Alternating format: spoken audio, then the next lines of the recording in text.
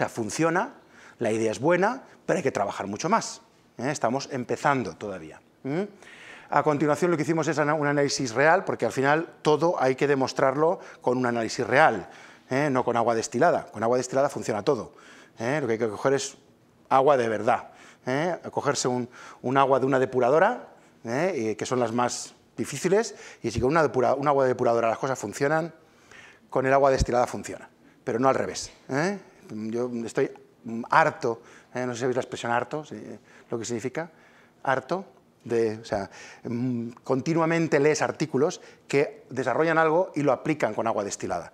Con agua destilada en la naturaleza no existe. Bien, entonces aquí lo que hemos hecho es con este material certificado, que es un, agua de mar, esto es los elementos que certifican, y quiero que prestéis atención especialmente al zinc, ¿eh? porque fijaros que los valores certificados son estos y los valores obtenidos son estos. Las recuperaciones son del orden del, 100%, excepto para el zinc, que es del 81%. Durante el periodo de preparación del manuscrito, nosotros vimos que apareció, está en la referencia del artículo, que los, proveedores del material certificado, después de habernoslo vendido como un material certificado, certificando el valor del zinc, pasado un tiempo se dieron cuenta de que el zinc estaba variando. Por tanto, no era certificado. Y fijaros que pone indicativo. ¿Mm? Eso es interesante. Entonces, claro, significa que no es un valor de referencia. Y por lo tanto, que hayamos obtenido un 81% no es sorprendente. ¿eh? No es un certificado. ¿Mm?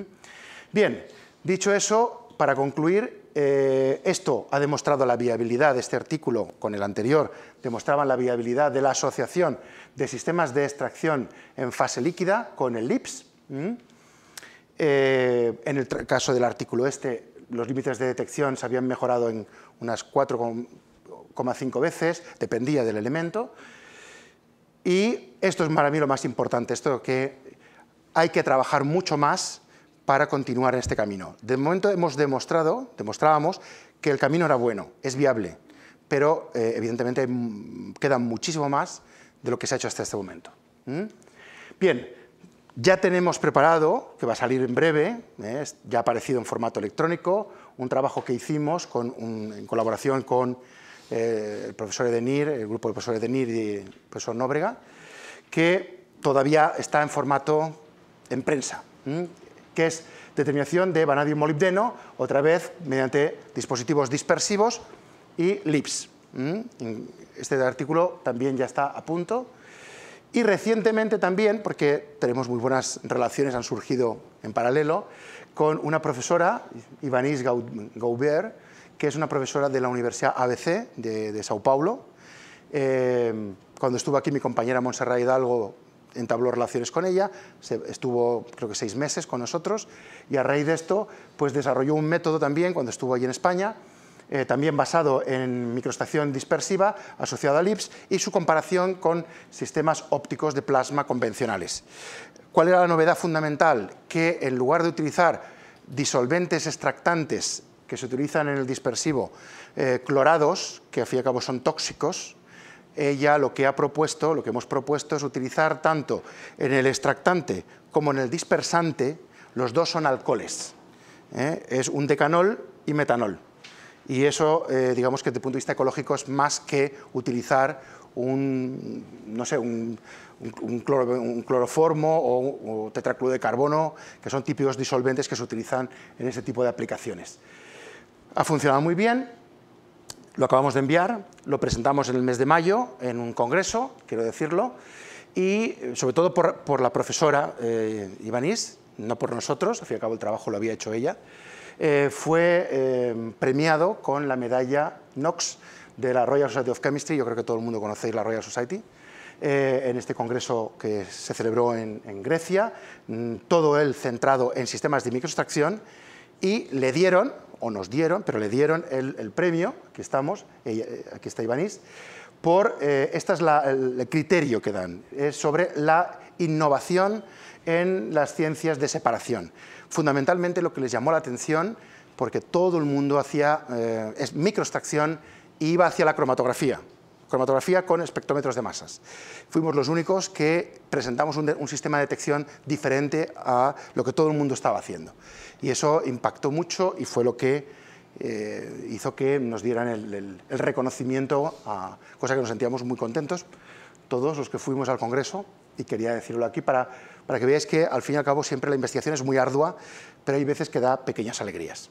O sea que, que, creáis en ello. Bueno, si, combinamos todo lo que hemos dicho, sistemas de miniaturización eh, en, extracción líquido-líquido y los sistemas de detección que os acabo de presentar, y, ponemos otra vez los 12 principios de la, del Green Analytical Chemistry, vemos que ahora eh, ya sí que eh, tenemos volúmenes pequeños de muestra, volúmenes pequeños de extractante, podemos hacer, ahora sí que ya podemos hacer medidas in situ, porque los sistemas lo permiten, podemos hacer sistemas automáticos, miniaturizados, el consumo de, reactivos y muestras pequeño, los residuos que generamos también son pequeños, o sea que vamos viendo que de los 12 principios ya muchos los estamos cubriendo con los sistemas combinados que estamos presentando de extracción y detección. Esto es lo que quería deciros, no, sé, no me he pasado mucho. Eh, aquí al final pues quiero poner eh, agradecimientos al gobierno español, al gobierno brasileño también, como yo os he dicho, a la universidad, a mis compañeros y colegas por haberme permitido estar aquí, pero estos son los fondos con los cuales nosotros hemos hecho todo este trabajo en los últimos años. Insisto, para cerrar, os he presentado Alicante al principio, os lo voy a enseñar al final. Esta es la bahía de, Alicante, algunos lo conocéis, desde el castillo. Este es nuestro pequeño grupo, pero muy ilusionado, siempre trabajamos con mucha ilusión. Aquí estaba, sí. bueno, y no sé si me he equivocado, lo he hecho de lo mejor que he podido. Creo que está correcto, pero no sé si está mal, os pido perdón. M muchas gracias por vuestra atención.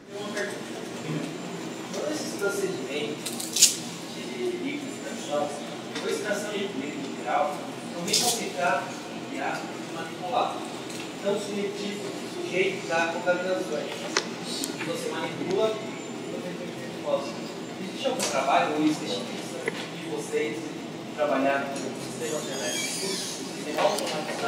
Precisamente, precisamente lo hemos estado comentando estos días porque hemos preparado una nueva aplicación con el profesor Joaquín. De una de las cosas que queremos ver es desarrollar metodologías automáticas. Todo esto se puede hacer. ¿eh? Hay, hay, algunos trabajos hechos. Tú piensas que eh, la jeringa con la microgota puedes poner un septum, un canal, puedes introducirlo en un, en un, en un tubo que va pasando y la gota se queda ahí mientras va pasando. Y tú vas haciendo una extracción en línea. Perfectamente se puede hacer. O sea que es una cosa que hemos propuesto, si recuerdas. Dijimos, estudio del flujo, una variable que pusimos era flujo, o sea, valor del flujo para sistemas en flujo, claro. O sea que sí se puede hacer. Lo que pasa es que hay que tener cuidado con el disolvente. Porque eh, estos sistemas, claro, cuando tienes una gota en un flujo, puede ser que la gota caiga. Entonces tienes que utilizar, por ejemplo, en ese sentido los líquidos iónicos estarían muy bien, porque al ser muy viscosos, impedirían que se soltara de la jeringa, por ejemplo. Pero, pero no hay mucho, ¿eh? no hay mucho, pero se puede, sería interesante.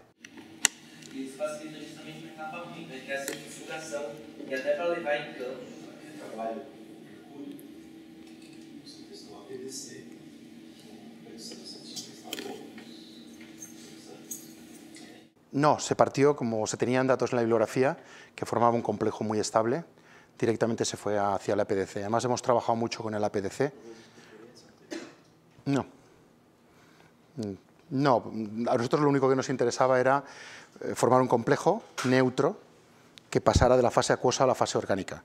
Estaba descrito que el APDC forma un complejo muy estable con el mercurio. Los últimos trabajos que hemos hecho con Evanis eh, a ella le gusta, pues es una cuestión personal, le gusta mucho el pan. Entonces, en los últimos estamos utilizando otro, otro agente quelatante, que es el pan. entonces, bueno, pero eso es, eso es química clásica, eso es química húmeda, de formación de complejos. Además, eh, de hecho, en el artículo ese que, que, estás comentando, después tenemos que hacer una, eh, una back extraction. Justamente una de las cosas que hacemos con el back extraction es romper el complejo. O sea que una vez eh, formamos el complejo, para extraerlo, para ir de la fase acuosa a la fase orgánica, que forma un complejo neutro, pero como no funciona hay que hacer un back extraction, hay que ir a fase acuosa, para lo cual mm, ponemos medio ácido y hacemos que se rompa el complejo y que el mercurio pase otra vez a la fase acuosa. Y eso es lo que hace que funcione mejor la determinación, porque el mercurio está libre, no está formando complejo.